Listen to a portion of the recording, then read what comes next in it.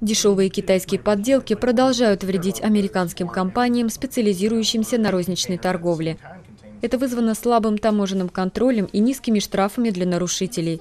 По оценке Организации экономического сотрудничества и развития, общая стоимость поддельных товаров в период с 2001 по 2007 год удвоилась и составляет 250 миллиардов долларов ежегодно.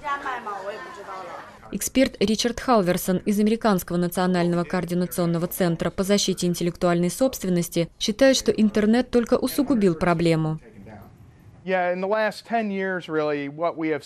В последние 10 лет мы увидели, что зарубежным производителям стало легче осуществлять прямое продвижение и продажи своих товаров в США, тогда как 10-15 лет назад, до развития интернета, вам пришлось бы идти на местный блошиный рынок, в местный комиссионный магазин или ехать в то место, где продается контрафактная продукция, идти в магазин и физически ее покупать.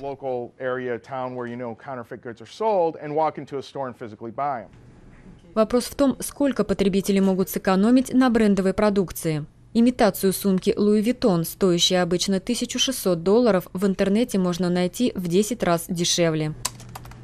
Но огромные прибыли китайских контрафакторов означают снижение чистой прибыли легальных производителей в США.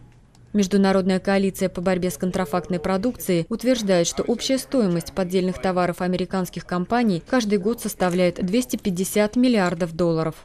Хотя китайские власти расширили программы по борьбе с контрафактной продукцией, к ответственности было привлечено очень немного компаний.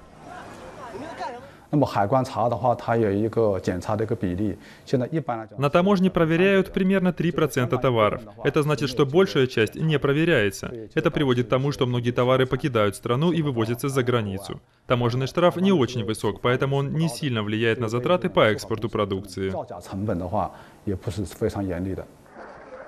Среди недавних мер властей КНР по ограничению подделок – кампания по борьбе с пиратством, организованная в октябре. Она направлена на отслеживание поддельных компьютерных программ, игр, литературы и фильмов.